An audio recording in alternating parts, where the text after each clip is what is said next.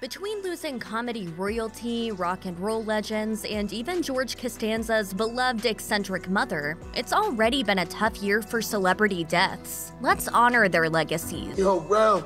Desiigner was in tears on Instagram Live over the death of his friend, vowing to quit the rap game. Yo, I'm done. I'm done. I'm done. I can't live like this no more.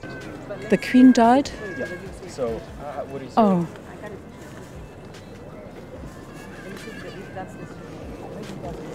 Is it true?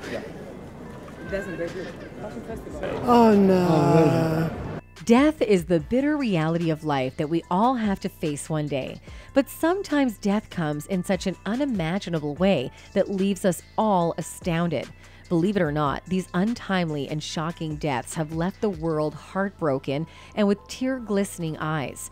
In this video, we have listed all the stars we have tragically lost in the year 2022. Let's take a look at these unfortunate deaths. Last this morning at about approximately 2:34 a.m., officers received a call of a shooting in progress. It's in the downtown location, billiards bowling alley located at 1201 San Jacinto Street uh, here in the downtown area. Once officers arrived, uh, they came upon a, a male who was deceased. Uh, that male has been identified as Kirshnik Ball, better known as Takeoff. On November 1st, the police announced the death of her beloved rapper Takeoff, officially known as Kirshnik Khari Ball. The pioneer of the Migos flow greatly influenced the rap industry. Migos first broke the smash hit Versace in 2013, and the group has had four hits on the Billboard Hot 100. Also, Takeoff was set to release his second solo on November 11th, which has sadly not been released yet. In the commemoration of Takeoff, Quavo shared an emotional letter to his late nephew on Instagram. He wrote, Throughout this whole time, he had a real passion for music. It was his dream to become a rapper because I didn't know what I wanted to do. Then he created his triplet flow, and the rest was history. He never worried about titles, credit, or what man got the most shine. That wasn't him. He didn't care about none of that as long as we brought it back home to the family. The authorities revealed that in the morning around 3:20 a.m. on November 1st, the heartthrob pop star was found dead on the scene. The police declared this as a homicide when the autopsy revealed the cause of death being shot in the head and torso. The fans are shell-shocked by the news. Fortunately, the suspect in the tragedy is under custody now, but the fans still woe the loss forever. Some still cannot believe the death of their idol. On the 5th of November 2022, Aaron Carter was found dead in his Southern California home. The singer was just 34 years old, and the heartbreaking announcement has left both his fans and family shocked and distressed. Unfortunately, it's so much more upsetting because Aaron's life was extremely tumultuous. From battling drug addiction to dealing with numerous family issues to his rocky relationship, his last few years had many more downs than they did Aaron Carter, the 90s most iconic artist and the singer of the masterpiece I Want Candy. Sadly, the Florida boy had a lot going on in the music world, as well as in the real world, but obviously not in a good way. The childhood pop star was reportedly suffering from schizophrenia, drug addiction, PTSD from sexual abuse, and various familial troubles. The news of Aaron Carter's suicide was a shock to his friends and family, on which Courtney Stodden says, I'm literally so upset about Aaron Carter's death. He's reached out to me so many times, and I was always so afraid that this was going to happen. His tumultuous life came to an end when he was found dead in the bathtub by the housekeeper on November 5, 2022, in his Southern California home. Not to forget, he will always be remembered by his fans and family. Missing someone is, is really part of having a good friend. You're happy when they're around, and you're sad when they're away. Sesame Street's Bob McGrath has died. The sad news was shared on the performer's Facebook page, which noted he died peacefully at home, surrounded by his family. Bob McGrath, the person who made her childhood beautiful, the founding cast member of Sesame Street, radiated warmth and acceptance to children, forming an indestructible bond. The children's living room friend who was also a professional singer who made a name for himself, especially in Japan. One of the original cast, Matt Robinson, expressed his sorrow on his death, saying, Rest in peace, Bob, joining Will Lee, Mr. Hooper, and Daddy Gordon in Sesame Street Heaven, where the air is sweet. I first met Bob McGrath in 1969 when my father and him starred together on Sesame Street. He was the guy you saw on TV, the nicest, sweetest, kindest man. The first time my brother and I got to be on Sesame Street, we had this scene with him. Rest in peace, Bob McGrath. You are so loved all over the world. We lost our friend on December 4th, 2022. He died peacefully surrounded by his friends and family.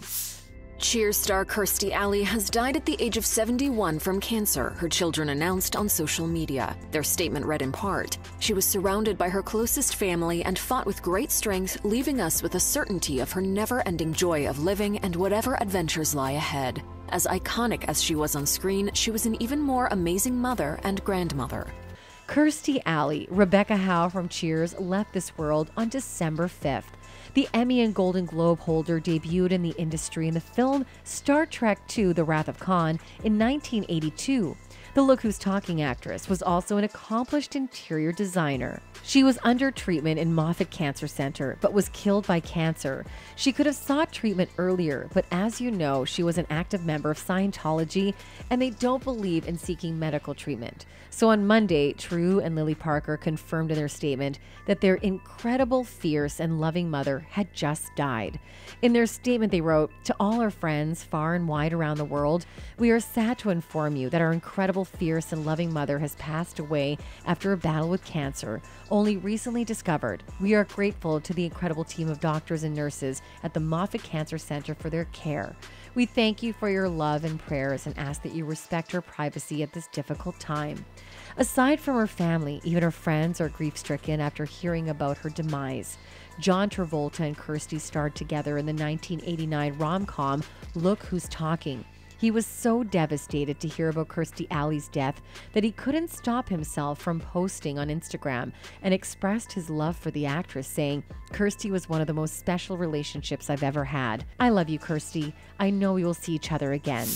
Robyn Griggs, known for her roles on soap operas Another World and One Life to Live, has died. The actress' passing was announced on her Facebook page on Saturday. Griggs was diagnosed with stage 4 endocervical adenocarcinoma in 2020, and she had entered hospice care just days before her death.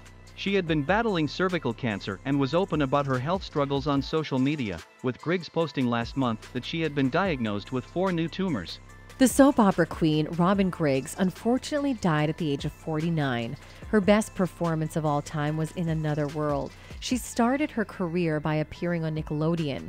She earned a Young Artist Award for Best Actress in Daytime Series. She underwent surgery for the removal of cancer and had been actively spreading awareness about this disease. The brave actress was suffering from cervical cancer and battled it for almost two years. She was admitted to hospice care a few days before she tragically died. In her last video update, she explained her conditions herself. Let's see how bravely she withstands and explains her suffering. Everyone, I just wanted to let you know my blood work was good enough to have treatment.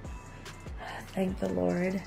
And um, I did have the next treatment, and I'm on bed rest currently. I've been very sick.